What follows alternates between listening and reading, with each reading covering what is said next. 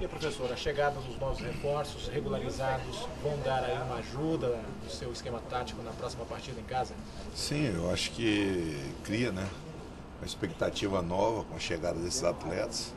E dentro do trabalho que a gente tem feito aí, tivemos uma semana cheia de trabalho, deu para a gente ir trabalhando, encaixando esses atletas dentro daquilo que a gente foi fazendo. Então, esperamos aí, dentro daquilo que a gente tem feito, tem trabalhado, é, venha se criar aí uma. Eles venham corresponder à expectativa que a gente tem colocado na estreia desses atletas, para que a gente possa aí conquistar um bom resultado aí e eles façam aí uma boa apresentação na, no, no, início do, da estreia deles.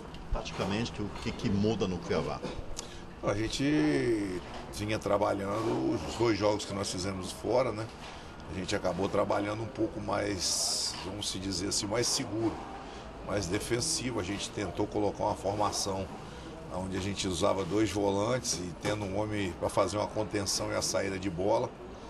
E agora a gente está puxando aí uma alternativa e estamos testando a entrada de mais um meio ou mais um atacante, para que a gente fique com a equipe um pouco mais ofensiva.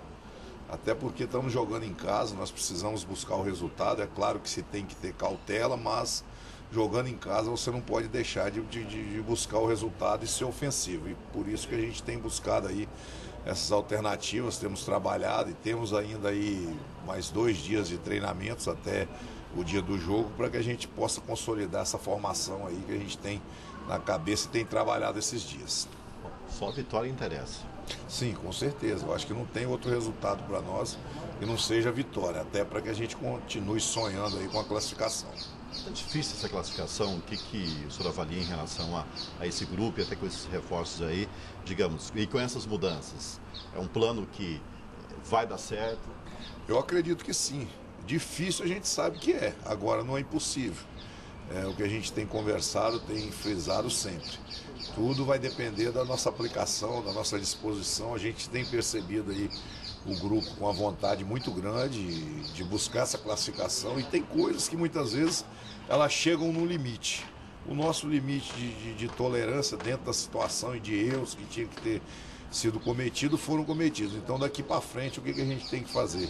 É procurar não errar, ser insistente e buscar a vitória sempre. Nessa, é, nesse esquema tático que o senhor coloca já para o próximo jogo na segunda-feira, o Fernando vem a calhar com isso, reforçando aí a questão do ataque. Ele está garantido o jogo, já está regularizado? Está regularizado. A ideia é começar com ele. A gente tem conversado, temos trabalhado.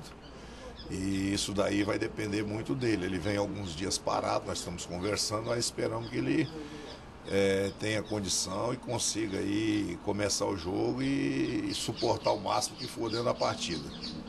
Falando aí é, do Botafogo, é, já tem um conhecimento melhor, ou seja, um adversário que preocupa mais em quê?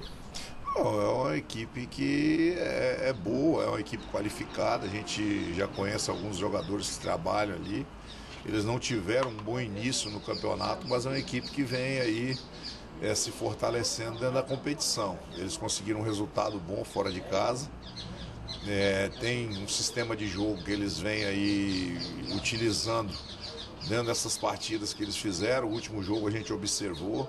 Eles têm um ataque perigoso, uma equipe que, que procura jogar em velocidade, é, muitas vezes explorando os erros, o que eles fizeram quanto confiança.